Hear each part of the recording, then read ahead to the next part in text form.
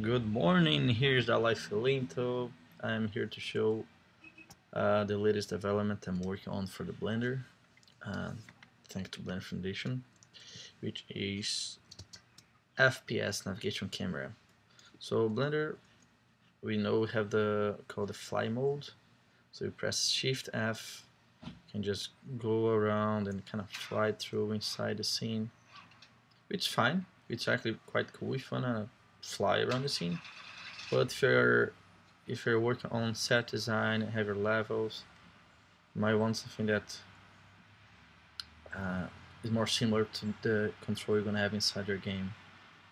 So let me show you the FPS navigation. It's the branch right now with I enable Control Shift F. So here I'm looking around. I can walk, and I, as you can see, I can look up, but I'm always walking forward. Can walk sideways as well.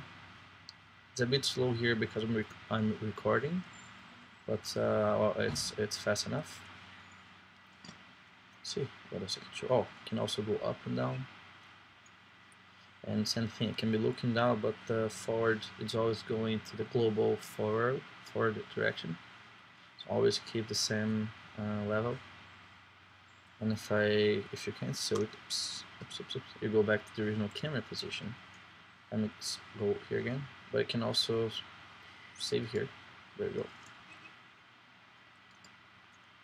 And the cool thing about that uh, that it's it's built on top of uh, Blender fly mode system. So if I take my camera and set the camera to always to always storage location, you can actually save the animation. Timeline here. Here, visual, visual lock lock. So if I go here and I'm walking, this should be creating, okay, maybe it's not. Yeah, I never know how this works, just a second, maybe not.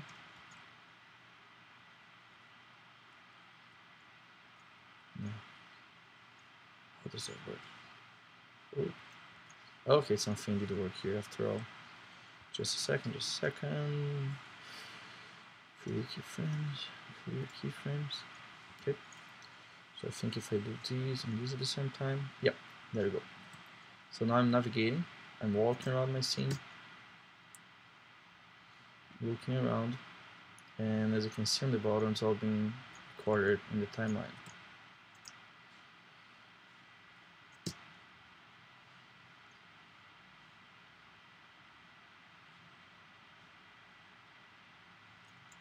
Again, it's probably a bit slow here because of the recording,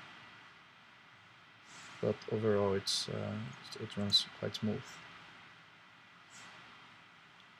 Ooh, I'm doing something bad. I'm actually went over the limit of the scene. Okay, so now I'm no longer moving my camera.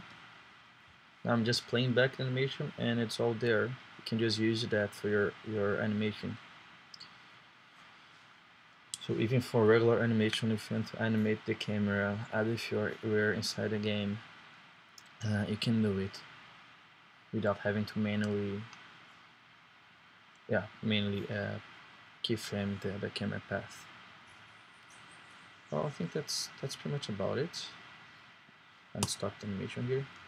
So again, I first was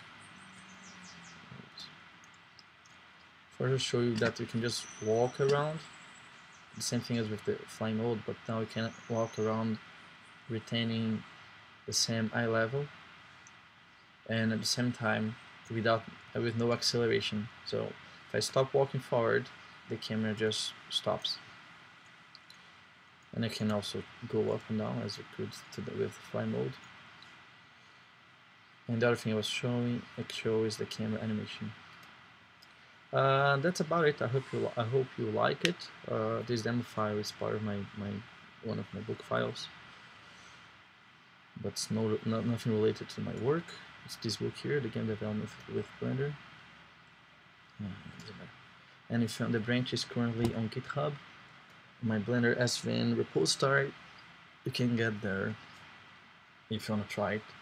Yep. That's about it. Have a great day. Bye.